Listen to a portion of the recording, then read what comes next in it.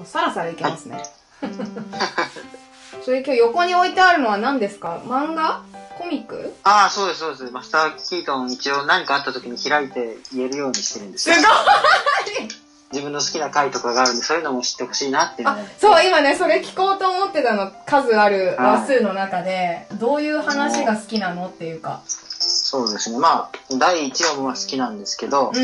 なんか廃墟と化した町があるんですけど、そこはかつて貿易船とかが通ってたんですけど、はい昔の船だったらすぐ嵐とかで沈んでしまうんで、うんうん。その財宝とかが、そこでなんか引き上げ作業をしてる男女がいて、はい。で、その男の方が最初に殺されたんですよ。で、その男が保険に入ったんですけど、うんうんその、いわゆる悪い奴が受け取りになってたんですよ。ああ、はいはいはい。で、キートンが邪魔だから殺せみたいな感じになって、うん。リーダーみたいなやつがそのキートン見て、なんかどこかで見たことあるな、あいつって言うんですけど、はいはないなんとなく思い出せないんですよ。うんうん。相手はまあ拳銃バンバン撃つんですけど、なかなか当たらんのんですよ。はい。で、キートンは、しゃもじじゃないけど、なんていうんですかね、なんかサラダ取り分ける時の木のスプーンみたいなのをはいはいはい、あります調ね。達して、うん。で、それに石を乗っけて投げて相手をどんどん倒していくんですよ。すげえで、3人いたうち2人をやっつけたところで、そのリーダー的存在のやつが、うんキートンのことを思い出したって言うんですよ。うんうん軍隊の入隊試験を受けた時のサバイバルの教官だって言うんですよ。ええー、共感そのキキートンに審査されてたんですよ、なるほど。はいはいはいははい、で、キートン撃とうとするんですけど、やっぱり弾が当たらず、キートンの投げた石が当たって倒されるっていう、い。へえ。それが1話？教え子を倒す。そうですね。はあ。なんかちょっとあれですね、その、観察力みたいなのもあるから、いろんな要素がありますね。そうですね。サバイバルの要素もあるし、探偵要素もあるし。ああ、そうです、そうです。おもろいな。結構その戦いになるところが多いんで、その時うんうんはあの、軍隊経験が生かされるんですよ、ああ、なるほど。うん。お、ちょっと話に夢中で書き順見てなかったです。ああ、書き順？えっ、とね、最初横書いて、次縦です。あ、縦先なんですそうで、人人ですね。ちょっと、縦長にするといいかな。縦長。うん。これは記憶になったパターンですね、多分。嘘。どうどうどう。あ、めちゃくちゃあいや、いいいいいい。人めっちゃ良くなりましたね。あ、人を意識して両方とも止めました。超上手。素晴らしい。いいじゃない好きな回紹介してもいいですか？か。はい。ぜひお願いします。まだいっぱいあるんですよ。うん。で、次がアニメで見た回で、おもう本当最初にキートンのきっかけになった回で、砂漠のカーリマンっていう回で、はいはいはいはい。でキートンがある遺跡の発掘調査の場所に行くことになって、はい。すぐ近くが砂漠なんですよ。うん。タクラマカン砂漠っていう中国の方にあるんですはいけど、はいはい。である時地元の人の大切にしていたなんか壁みたいなのをその発掘隊が壊しておで怒りをすごい買ってしまって、はいはい。なるほど。でキートンもろとも発掘隊が砂漠のど真ん中に放置されるんですよ でお前たちの罪はこの砂漠が裁いてくれるって言っておー、かっこいいな。投げ出されるんですよなるほどね。でまあキートン以外はみんなサバイバルの素人なんで、うん。4時間歩けば街道に出るぞって言うんですけど、うん日の出まで2時間しかなかったんですよ、うんうんうんうん。でまあキートンはそれを冷静にこの砂漠では我々2時間で簡単に死んでしまうんですよって言ってうん。で放置した人たちは夜が明けて2時間ぐらいしたらああそろそろ奴らはもう死ぬ頃だろうって言うんですけど警察隊が見に行ったら、うん。奴ら生きてますって言って何って言ってでどうしたって言ったらあの穴を掘ったんですってしかもそれも日中日が差し込まない方向に穴を掘ったんですっておー、賢い。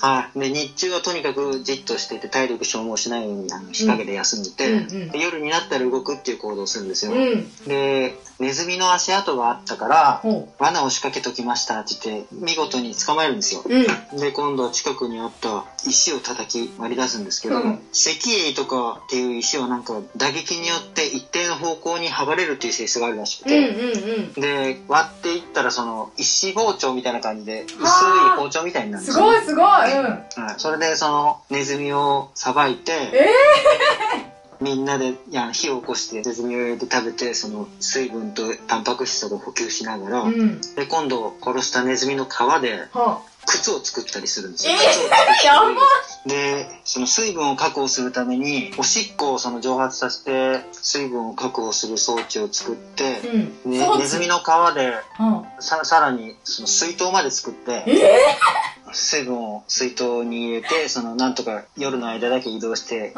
いくわけですよ、あ。はいはい。けどもうあと3キロっていうところにたどり着いた時にみんなもう限界が近づいてて、さすがにもう死んだだろうって言って。そしたら、キートンが穴から出てきて、ほなんか長い槍みたいな棒を持って。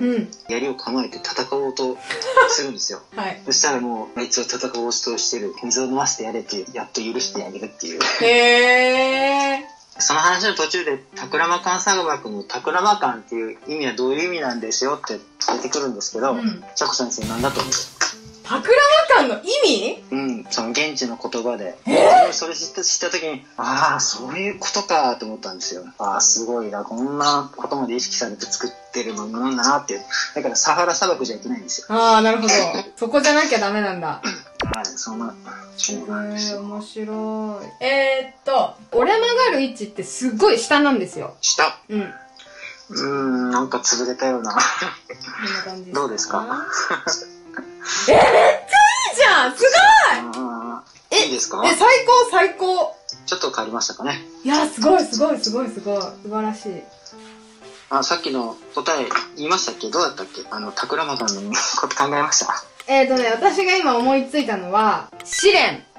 もう半分ぐらい合ってる感じなんですけど、うん。はい。まあ、生きては戻れぬ砂漠っていう意味らしいですよ。あー、なるほどって。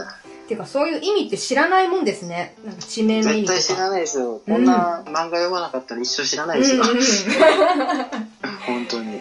や、漫画から得る知識って結構ありますからね。あります、あります。うん。い知識の泉とか言いますけど、そういう感じですね。や、ほんとほんと。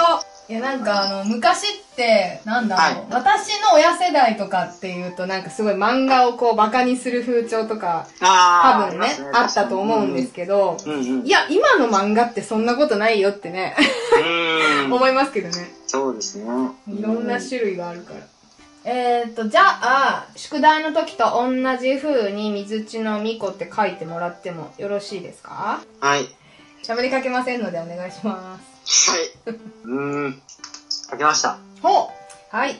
どうどうどう、うん、ですね。はい。おーえ、よくない？めっちゃ教えてもらったことをちゃんと活かしてますかね？うん、活かせてる。あのー、みことか画数少ない系もめちゃくちゃバランスいいし、下のラインが全部揃ってるから、綺麗に見えんの。イホマさん的にはどれが一番良かったなって感じ？書き順は間違えたけど、ん2個のみがいいかもしれうないです。ーん。いやー、ほんとバランスいい。この字めちゃくちゃ難しいけどね。すごい。いい、いい、いい、いい。綺麗になりましたね。はい、お疲れ様でした。よかった。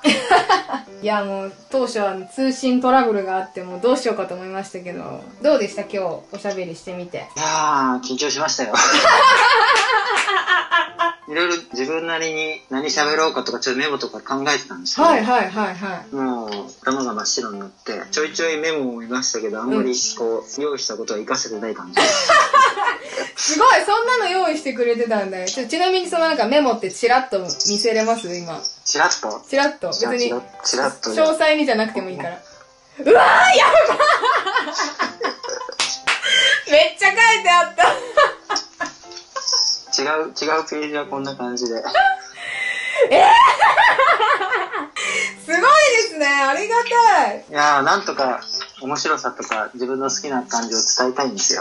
いや、なんかそういうのメモってさ、用意する、すればするほど、なんかあれじゃないですか。全部喋らなきゃってなりません？ああ、そうです、そうです、そうです。緊張しますよね何読み返したりしました？もしかして。もちろん。うわアニメも、まあ全部は見てないですけど、アニメも見ましたし、うん。あの漫画も全部じゃないですけど、ーやばい全巻目通して、あ、君はこれ、この回が好きだから、この回のこのセリフは紹介したいなとか、なんか私より用意してるじゃないですか。そんなことはないんですよ。すごい！えっ、と、この間お試しで喋ってた時よりもはい緊張してるなっていうのはね、ちょっと感じましたけど。だって、この間の方がだって初対面なのに、なんか結構スラスラね、喋ってたでしょ。いや、なんか自分のこの推しを伝えっていうことに多分プレッシャーを感じてるんでしょうね。そっか、そっか、あの、つなんか、せっかくだからね、伝えなきゃっていうのがね、あるから。分かってもらえるかなとか伝わるかなってうんいうう、んそのうんうん。こんなにお、こんなに面白いのに伝える人が下手だったら伝わらないみたいな。いやいやいやいやいやいや。めちゃくちゃ愛が伝わったので、今度、満喫に行って、あの、キートンちょっと全巻読みチャレンジしたいですね。あ、ありがとうございました。はい。じゃあ今日は、えー、イホマさんとマスターキートのお話聞かせていただきました。ありがとうございました。はい。はい、ありがとうございました。はい、バイバイ。また来てください。バイバイ。どっち？バイバイ。